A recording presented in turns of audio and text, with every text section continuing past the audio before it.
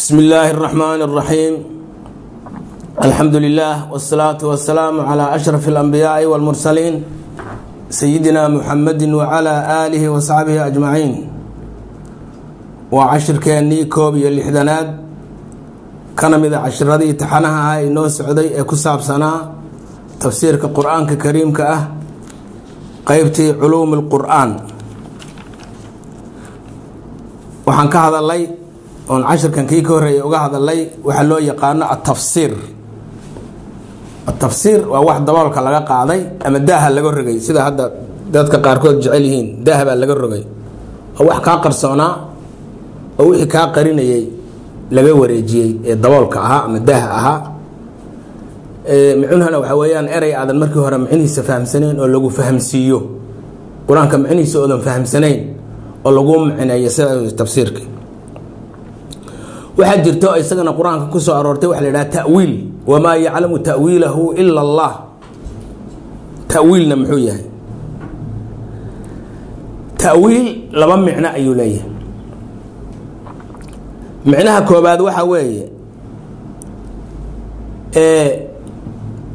micnaha oo loo celiya asalkiisii asalkiisii loo celiyay ay ta'wiilu kalaami hadalka oo loo celiyo ilaa aslihi. Ilaan ereyga marna waxaa loo adeegsadaa macnihiisi asalkaa loo adeegsadaa. Ee waagii hore loo dejiyey dadkii luqadan dejiyey luqadan dad baa dejistay. Luqada markii ay dadejisanayeen shay walba waxbay u yiqiineen hadda waxaa jira waxyaaba aynu isticmaalno oo aynaan micnahooda aqoonin. Ibraahim cumar cali waan iskala baxnaa. Micnahooda ma naqaan laakiin dadkii markii ugu horreysay la baxay micno u yiqiinin sida inagu hadda geedi iyo rooble iyo jilaal iyo jaamac iyo aynu aynu la hubo inaynu macno u naqaano. Jaamac waa kitaabka qur'aanka laga wadaa geedi wuxuu dhashay. Waqtigii geedi ay jireen sigad waxaa la yidhaahdaa waa mid dhiman gaadhay hooyadii baa dhimatay. Markaasuu isna wasigtay baa la yidhaha sigad baa la yidhaahdaa. Marka erayada markii la dejinayay ee hore dadkii dejisanayay micno ayay u yiqiineen kadib micno kale ayaa loo baxiyey micnayaal badan buu leeyahay. Marka ta'wiilulkalaami waxaa weeye kelmadda oo loo celiya ilaa asalkiisii hore yaa la yidhaahdaa. Yacni icaadatu alkalaami ilaa xaqiiqatihi allatii hiya caynu lmaqsuudi wixii asalkiisii hore loo dejiyey luqada dadkii samaystay waxay u dejiyeen hore. Wa huwa nawcaani isaguna laba ayuu u kala baxaa. Sida marka laga hadlayo cilmigan balaaqada la yidhaahdo culuum badan oo waxaa jirta aan aada loo aqrisanin oo luqa alcarabiya culuumu luqa alcarabiya la yidhaah. Innaga haddaan soomaalida nahay waxaan naqaanaa naxwada iyo sarfiga. Naxwadu waxay ka hadashaa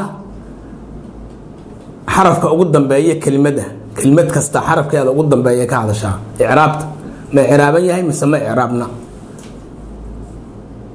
sarfigu wuxuu ka hadlayaa labada labada xarafka hore fi haddii ficilku uu hulaati yahay sida badanna afcaasha hulaatiga ah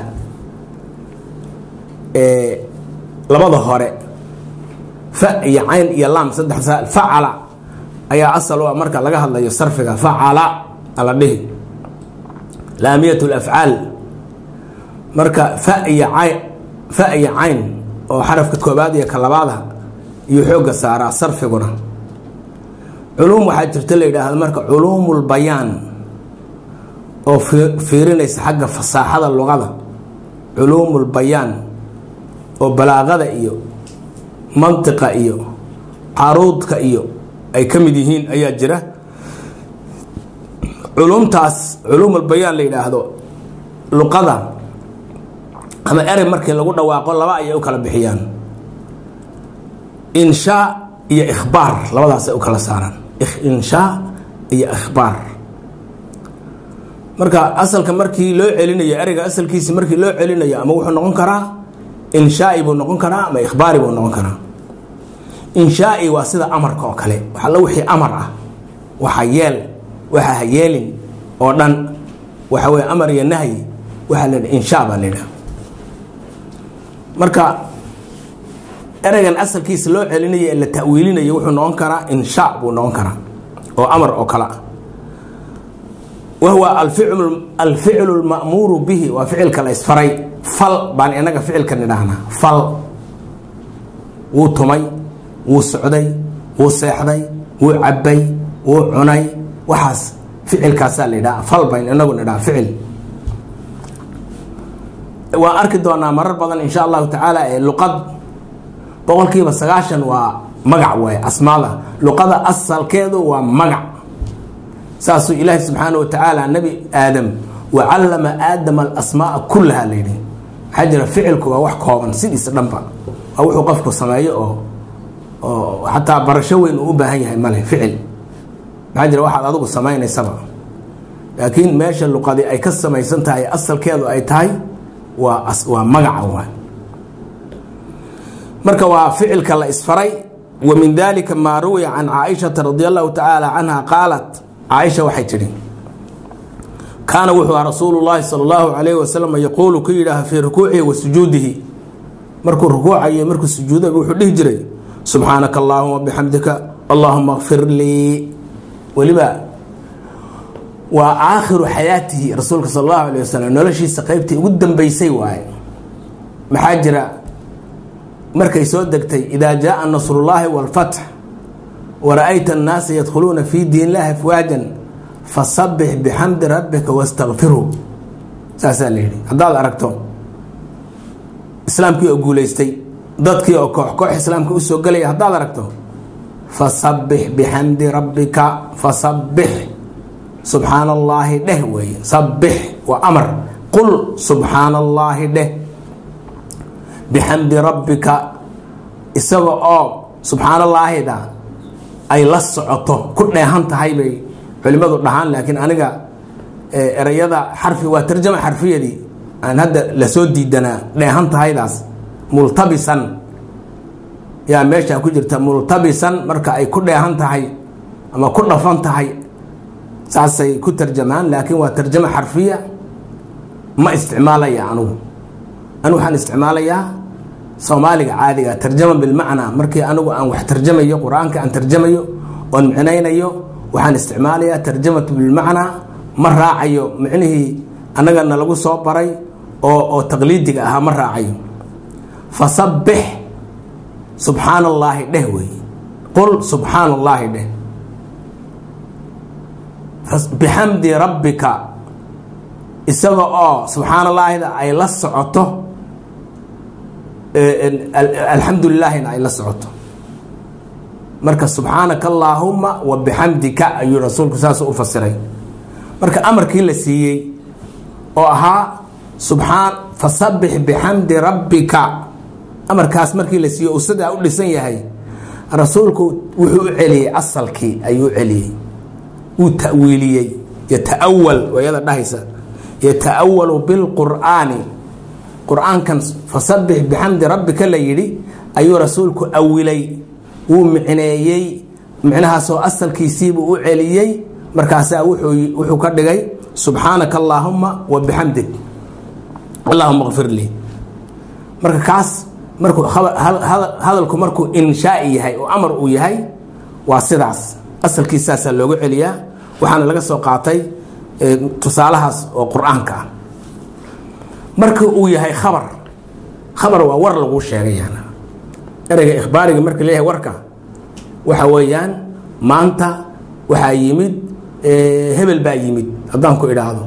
Ama hebel baa dhintay ama waxaas war baa la yidhaha khabar baa la yidhaha marka tawiilka isagoo laga hadlayo oo la leeyahay aan nidhina tawiilka micnaheedu waxaa weyaan tawiilu lkalaami waa in hadalka asalkii hore ee loo dejiyey loo celiya marka la yidhaahdo hadalkaasi hadduu yahay mid khabar ah hadduu yahay tawiilkiisu muxuu noqonaya tawiilkiisu waxaa weeyaan waxaa la sheegay inay dhacaan. Waxaa la yidhi way dhacayaan khabar baa dhacay waxaas inay dhacaan wey waxa weeyaan maanta halkaa dagaal baa ka dhacay intaasaa ku dhimatay ama roob baa da'ay waa inay waxaasi dhacaan roobku do-o markuu roobkaasi do-o iyo wixii ta'wiilkii uu dhacay iyo micnihii la sheegayay uu dhacay. Tusaale waxaa uu u soo qaatay kitaabku aayaddan suurat lcaraaf ka mida ama aayadahan dhowrka ee suurat alcaraaf ka mida labadan aayadood. Alla wuxuu yihi walaqad ji'naahum walaqad dhab ahaantii xaqiiqe eh ayay culimadu ayaa annaga nalagu baraa in la yidhaahdo. Laakiin dhab ahaantii wey walaqad dhab ahaantii ji'naahum bikitaabin kitaab ayaanu u keennay oo nu ula nimid. Alla subxaana wa tacaala baa dhahaya damiirku wuxuu ku dhacayaa dadka oo maaragtay bani aadamka ahee qur'aanka loo soo dejiyey wey kitaabkaasoo fasalnaahu calaa cilmin aanu caddaynay weeye. Fasalnaahu aanu caddaynay calaa cilmin annaga oo cilmi mutlaqa ogaansho mutlaqa leh yaanu ku fasilnay.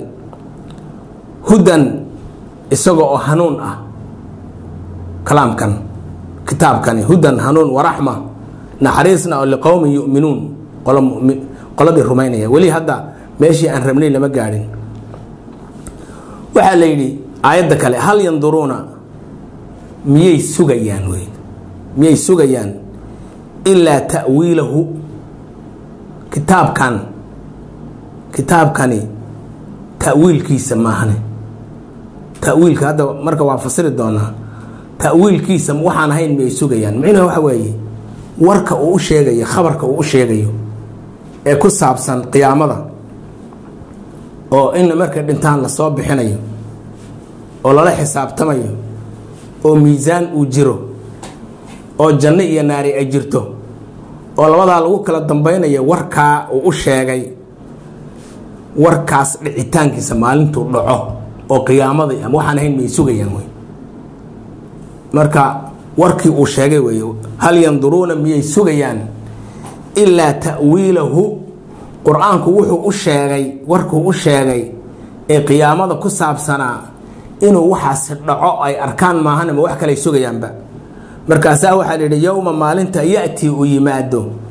Ta'wiiluhu qur'aanku wuxuu u sheegayo khabarku u sheegaya ku saabsan qiyaamada maalinta uu yimaado ee ay dhacaan ay arkaan.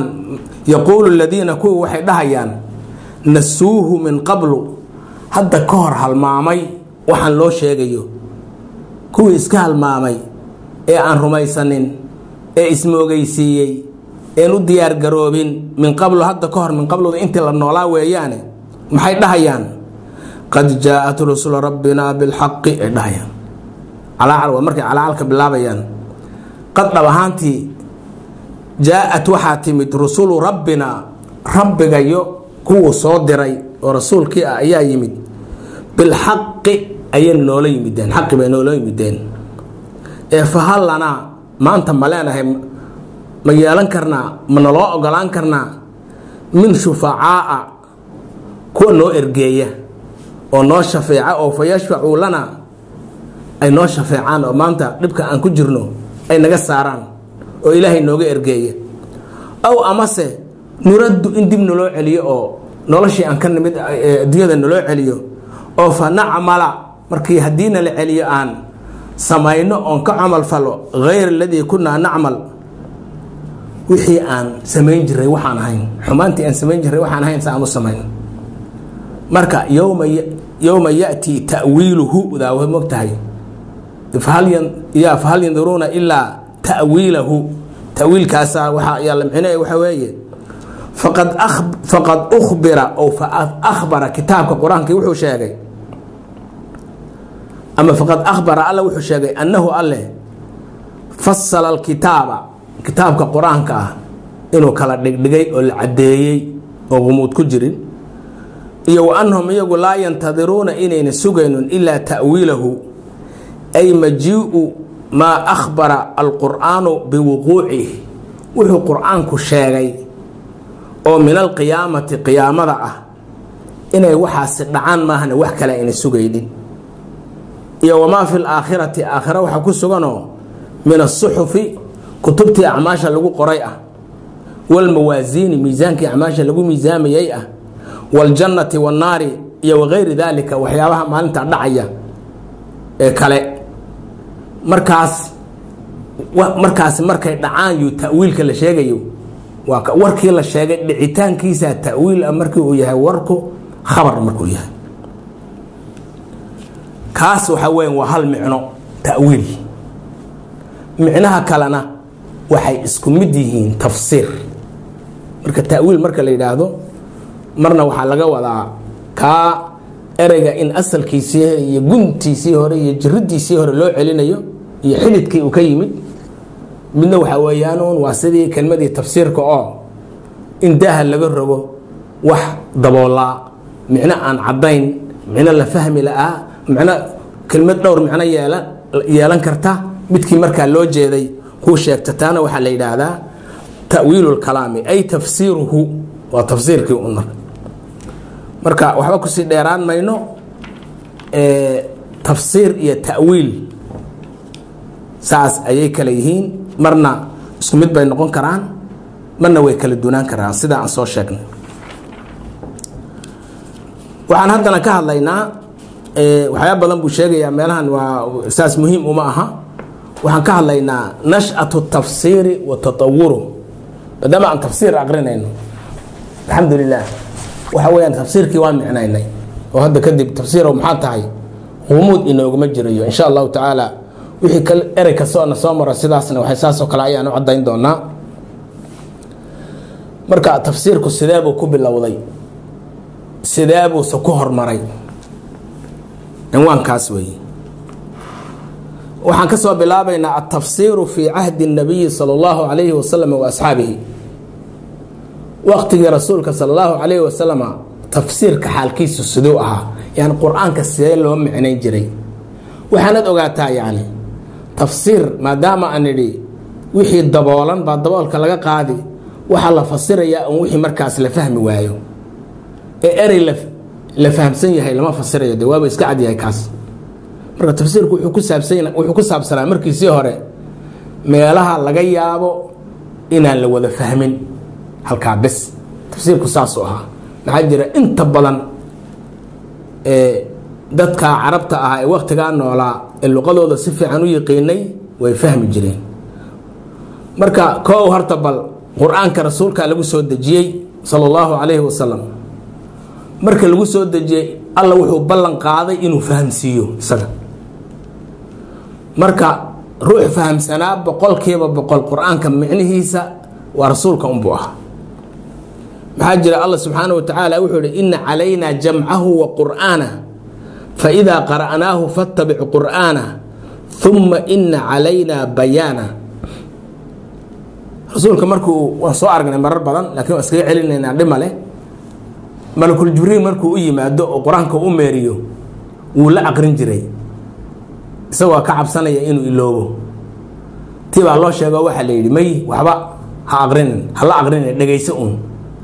Qalbigaagaa lagu qorayaa bes dib ma iloobaysi maxaa jira hadduu iloobayo rasuulku wax iloobayo iyo waxa weeyaan dee risaaladiisu inagu soo gaadhsiin lahaaba fariintii alleh haddii la kala iloobayo ma jirto ilowshaa la yidhi qalbigaagaa lagu qori ma iloobaysid micnihiisana ma fahm waayeysid waa lagu fahamsiin waa lagu cadayn baa la yidhi uma ina calaynaa jamcahu wa qur'aana.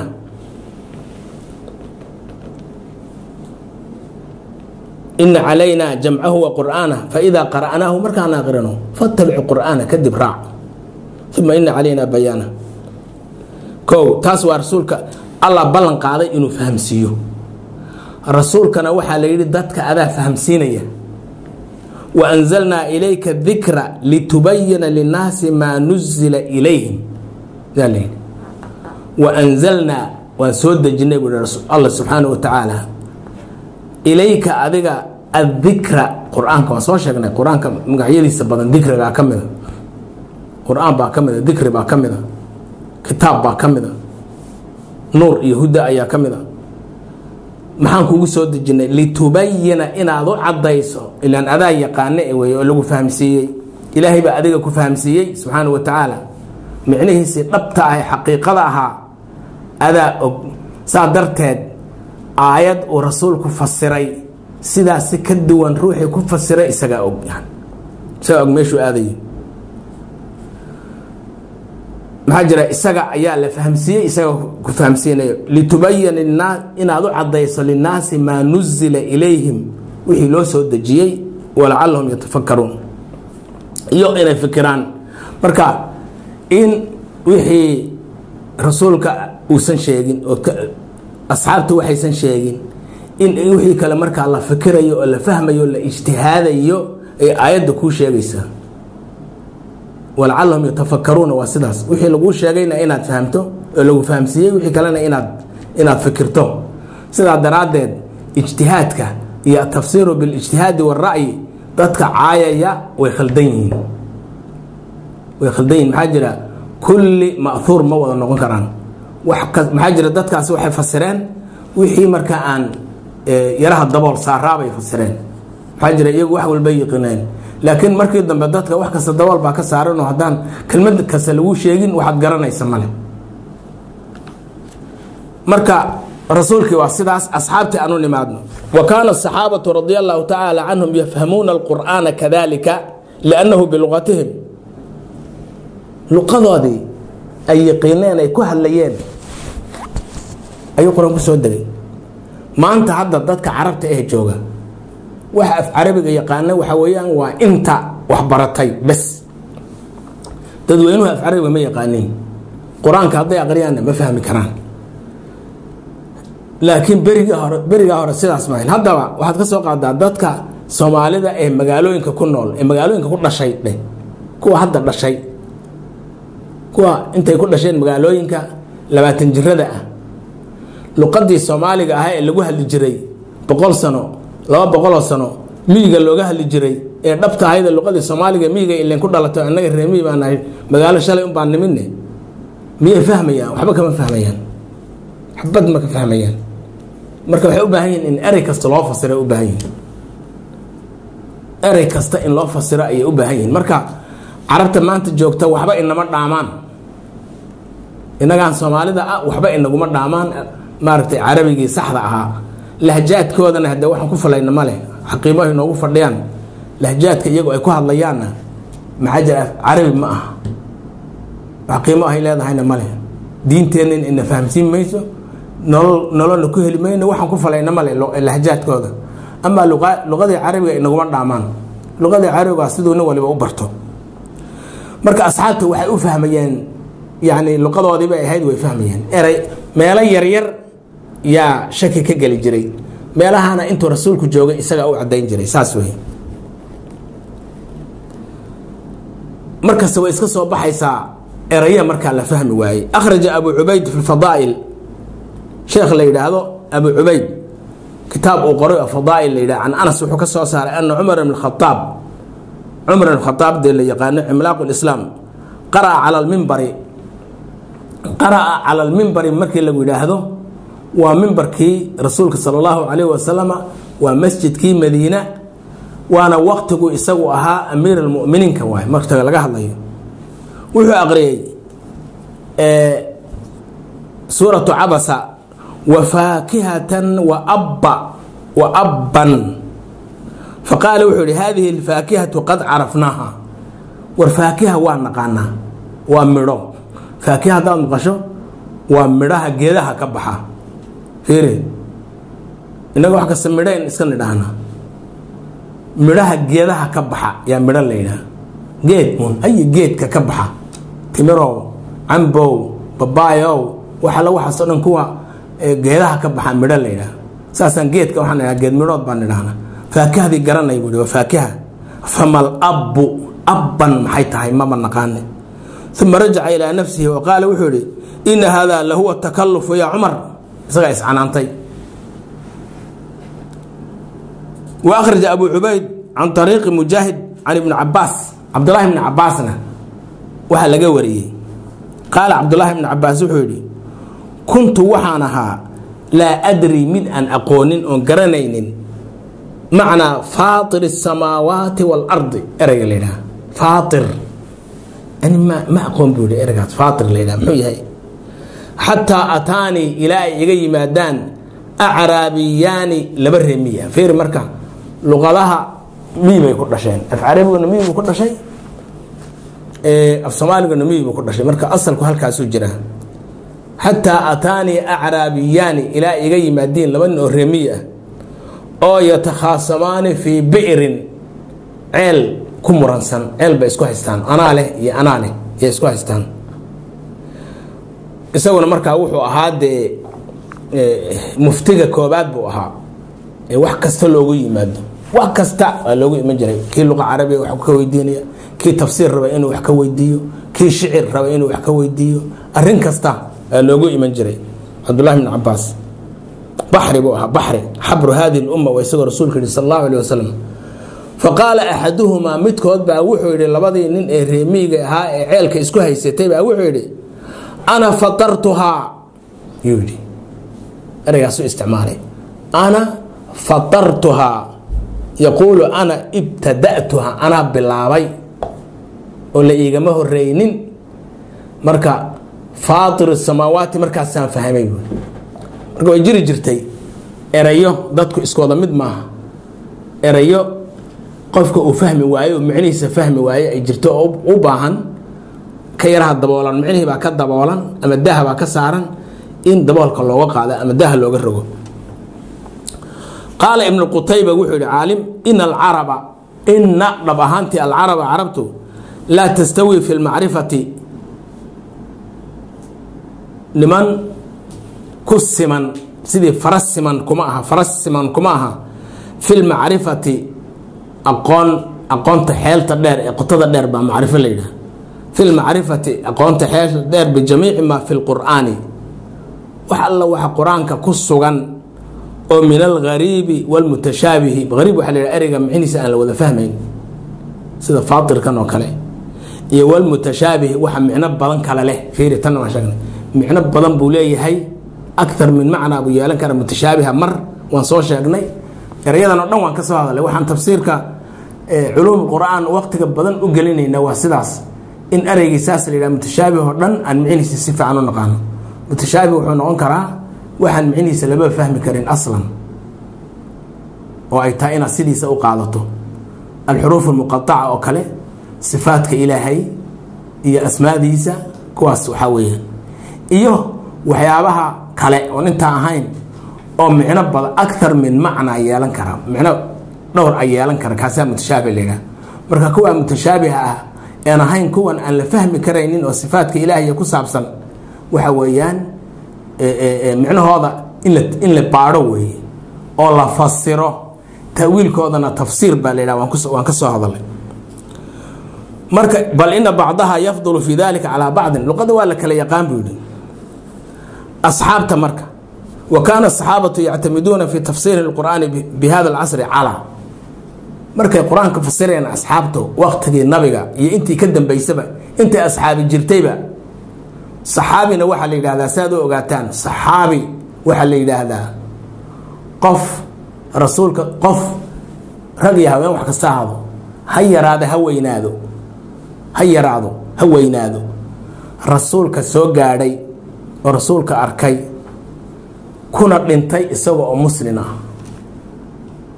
qof intuu rasuulka soo gaadhay oo islaamay isagoo muslin ah ku dhintay kaasaa saxaabi la yidhaha marka asxaabtu waxay ahaayeen qur'aanka waxay ictimaadi jireen awalan alqur'aan alkariim. Qur'aanka qur'aanka laysku fasiri jiray. Qur'aanka wax isfasiro ismacneeya qur'aanka ayaa ugu fadli badan. Qur'aanku wuxuu leeyahay waan aragnay khaas iyo caam buu leeyahay.